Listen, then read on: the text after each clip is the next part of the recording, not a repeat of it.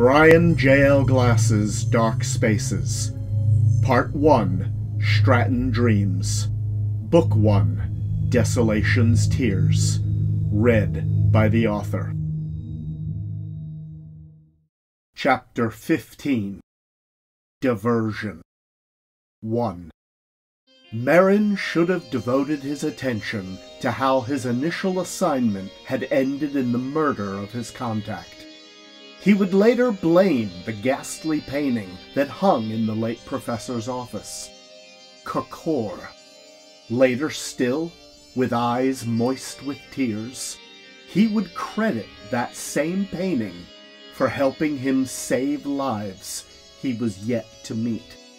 But instead of exploring that mystery, he spent the remainder of his day at the Environmental Services Warehouse amongst the bizarre archives the former biologist had left behind, absorbing all he could about an obscure yet pervasive legend that seemingly permeated throughout the furthest reaches of every stratum and yet one he had never encountered in all his 80 Stratan Standard years. There were no official accounts to substantiate any formal reports, reliable sightings, or tangible encounters. There were personal anecdotes, whisper down the lane campfire tales, multi generational ghost stories, but the mythology ran the gamut of biological and psychological nightmares. The Kokor grew from plants, from fungal spores, from contaminated water. They consumed humans from within, from something ingested. They arose from humanity's collective subconscious, manifesting from the dark spaces between the stars. The more unsettling tales were those which suggested they were humankind's own darkest selves brought to the surface to stand in judgment of the human race's sins. Dr. Havrel Sintel was able to connect strands between the less far-fetched lore and the current reported reality that had consumed Desolation Central occupied the law enforcement of redemption, and was no doubt already sending shockwaves up the strata to the many divisions and departments that made up ComFed itself. This Kokor was either some long forgotten bioweapon, or might be something that could be wrangled into one there would always be interested parties as long as there was a profit motive. The pair were so consumed cross referencing the mythos with reality, they barely registered the passage of time, until Sintel's music paused to alert them to activity at the front door. Someone was trying to bypass the lock. 2. It was Dirk. He was on the other side of the door employing a device not as refined, yet still very similar to the override card Merrin had used earlier. Dirk was hunkered down to work on the lock as unobtrusively as possible, either against the elements or the random passage of pedestrians or law enforcement. But he looked up sheepishly as the door opened like a child caught in the act of doing something they knew was naughty. Sintel peered out cautiously and demanded, Who are you? What do you want? He had brought the crowbar with him. When Dirk failed to respond swiftly enough, Merrin filled the void with the stern voice of a master craftsman dealing with an unruly protege. His name is Dirk, of the family Shodhelm, as I recall. Merrin! Dirk gasped. Thank the Strata it's you! He stood with a sense of urgency. You've got to get out of here! Sintel asked, You know this technician? Dirk still wore his sharp blue SEC coveralls and cap with the sewn-on earmuffs. Under the circumstances, the appearance had become comical. Merrin hastily explained. We crossed paths this morning. Get inside, he added as he grabbed Dirk's shoulder and pulled him through the open doorway. Sintel sealed and locked the door behind him. Merrin further added, I felt as if I owed him a bit of a debt, bequeathed some wisdom, and expected him to be on about his business by now. He glared. Dirk's exaggerated emotions were growing again, and Merrin sensed a building anxiety in him. I followed you, he declared. I spent the afternoon in a hotel. So did I! And the past several hours in here. Me too, Dirk blurted. Uh, only outside, across the street. Whatever for? I was worried about you. Merrin's action was swift, blocking one of Dirk's expressive arms up and away as he thrust his elbow toward the young man's throat. You're lying, Merrin declared bluntly. He'd stopped just short of actually striking the windpipe, and Dirk knew it. His eyes wide as he stared at the older man who would crush the breath out of him if he flinched. I'm lying, Dirk agreed. You got up from the tavern and, and you just left, he sputtered. I, I, I, didn't know what to do, but I, I just knew I couldn't go back to what I was doing before. Merrin felt truth exude in waves, something the young man was unaccustomed and uncomfortable with expressing. I followed you and I got a room just after you did, right next door. Dirk's lip began to quiver and Merrin could feel him express an acute disappointment in himself that bordered on both a failure and betrayal of his core principles. Whatever conflict raged in the boy was profound. Merrin withdrew his elbow by millimeters. He asked, Then what have you been doing out there in the cold while I've been here? Waiting for you to come out, Dirk said, trying to figure out what I was going to say. I, I, I didn't know. Sintel wasn't moved by anything he heard or saw. He raised the crowbar again and said, How do we know this isn't the guy who murdered Professor Strock? Dirk's eyes bulged wide again, his brow furrowing in a panic. What? No, I, I didn't kill anybody. Merrin felt Dirk's body tense for a reflexive action and reapplied his elbow's pressure to his throat. He's lying again, Merrin said, but with less concern. But I find it very doubtful this boy is the assassin we fear. Dirk and Merrin locked eyes, and the young man looked genuinely lost.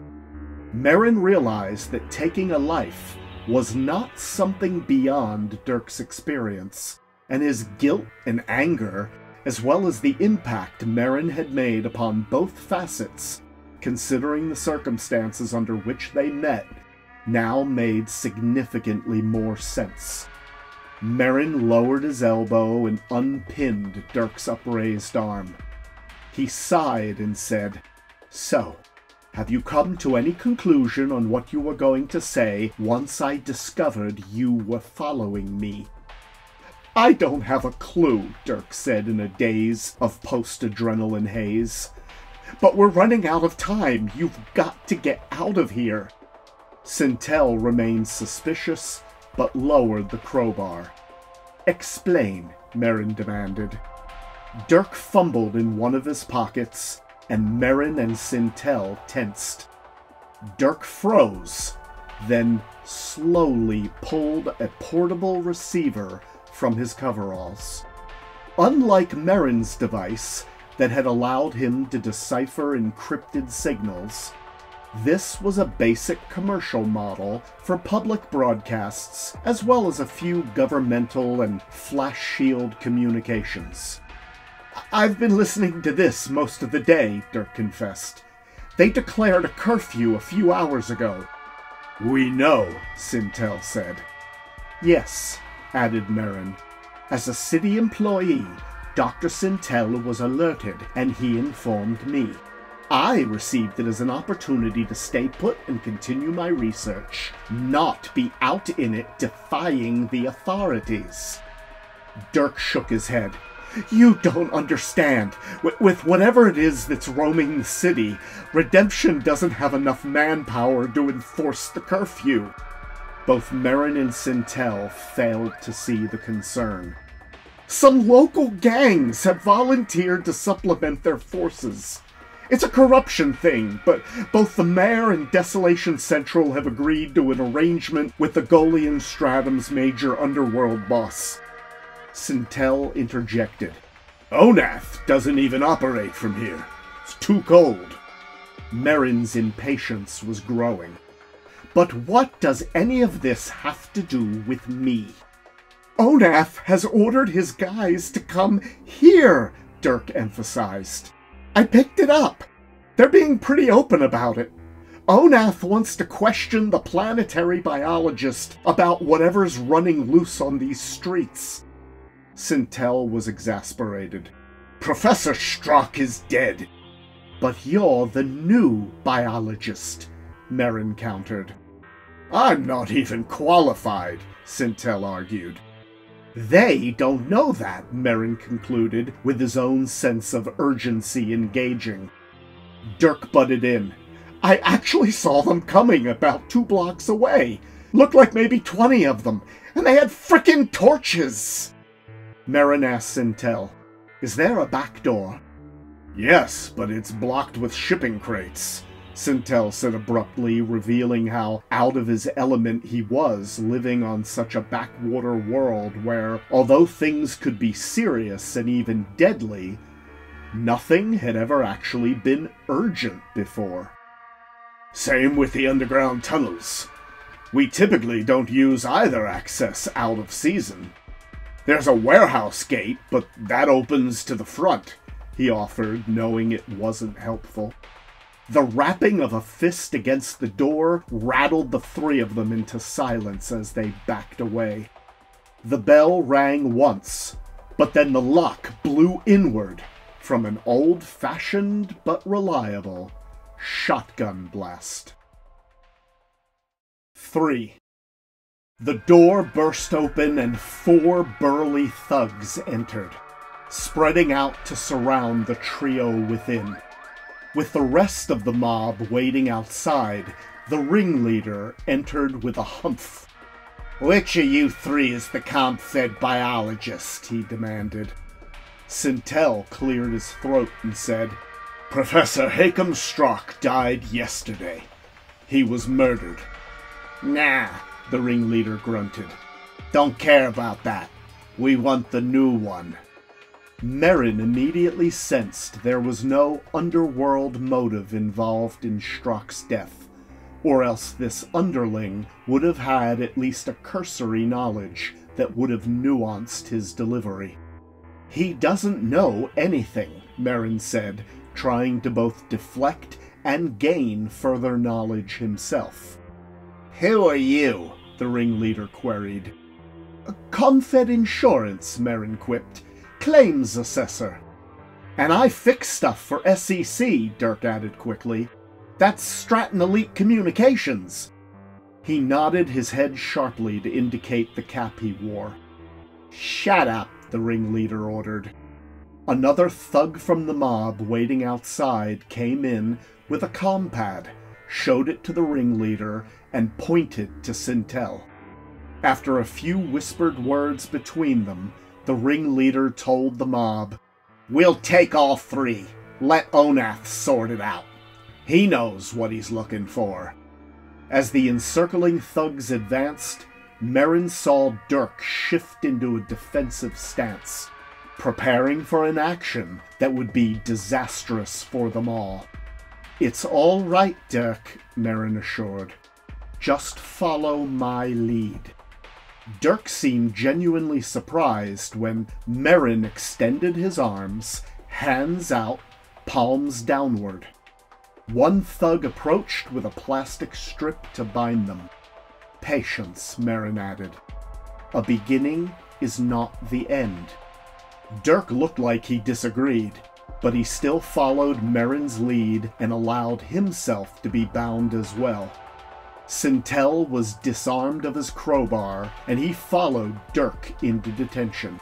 The two following Merrin as the elder man took the lead in their captivity. As they all shuffled outside, the ringleader announced, Just one more stop, then we can all get back inside. They were headed for the hangar district. As a group, they never made it.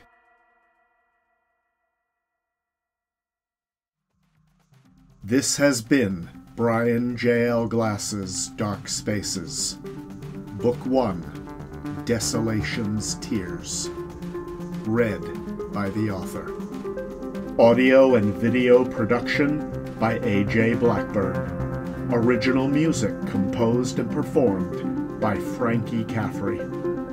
Bryan J.L. Glass's Dark Spaces and BJLG's Dark Spaces are copyright 2022 by Bryan J.L. Glass.